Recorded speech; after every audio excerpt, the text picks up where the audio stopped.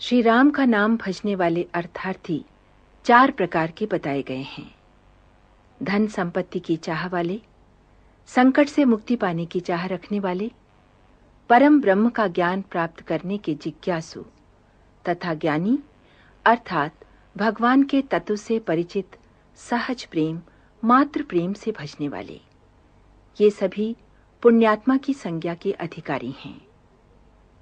राम शब्द के दो अक्षर वर्षा ऋतु के सावन भादो महीनों की तरह मधुर और मनोहर हैं। ये वर्णमाला रूपी शरीर के दो नेत्र हैं, कहने, सुनने और स्मरण करने में अत्यंत सहज, सरल और सुंदर नर नारायण की भांति सुंदर भाई जो जगत का पालन और विशेष रूप से भक्तों की रक्षा करने वाले हैं। गोस्वामी तुलसीदास ने इन दो अक्षरों की तुलना भक्ति रूपिणी, सुंदर कामिनी के कानों के आकर्षक आभूषण कर्णफूल से की है।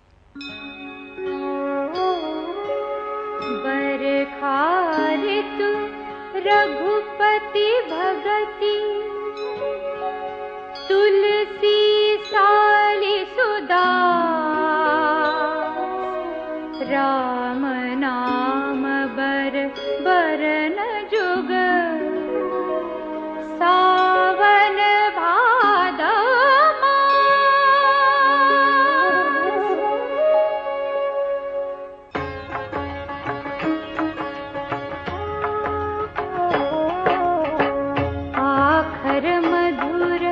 मनो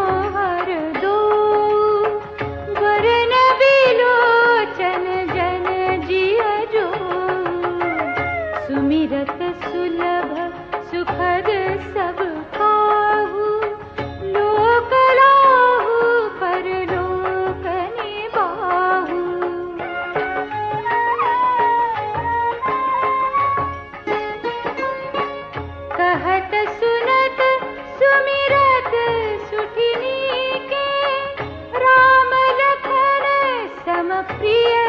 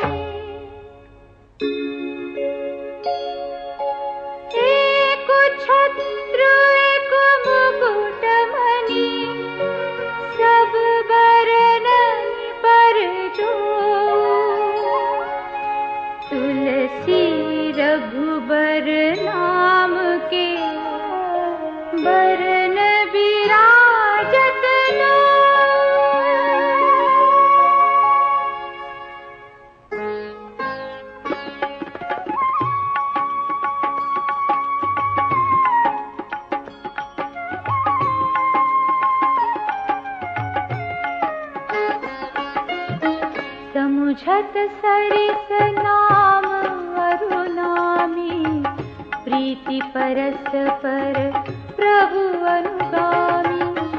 नाम रूप दुई सौपाधि अकथ अनादि सुसा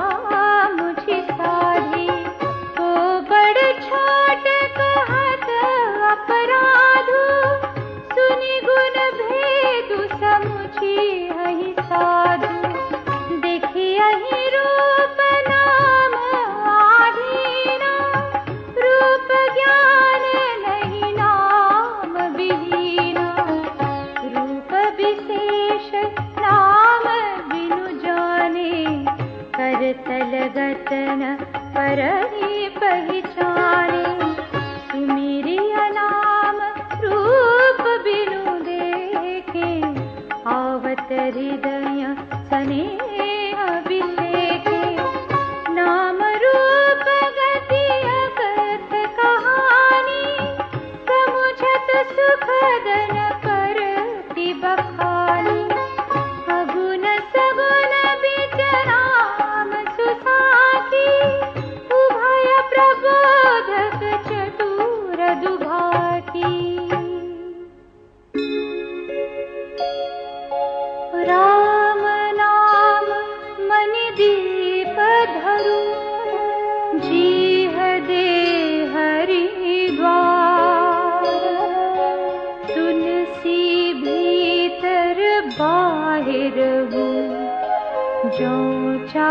हसि उजिया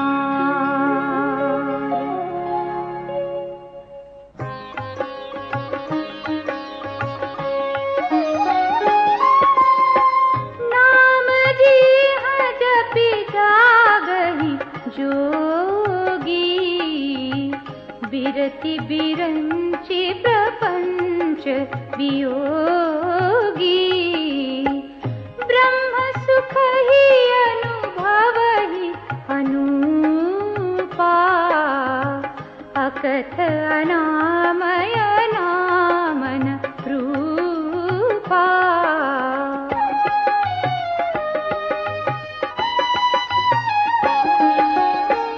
जानाच गुडगति जना जपि जाने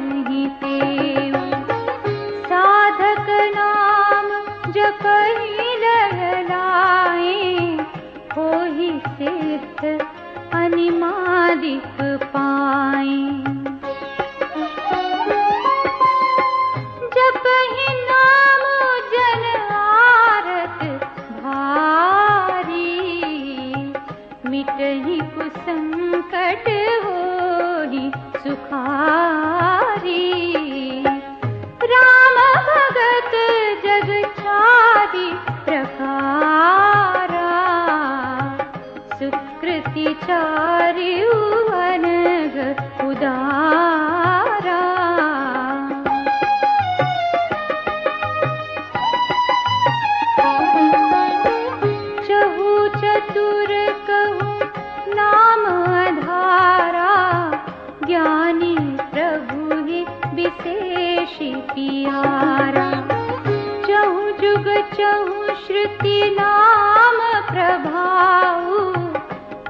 ಬಿಸಿ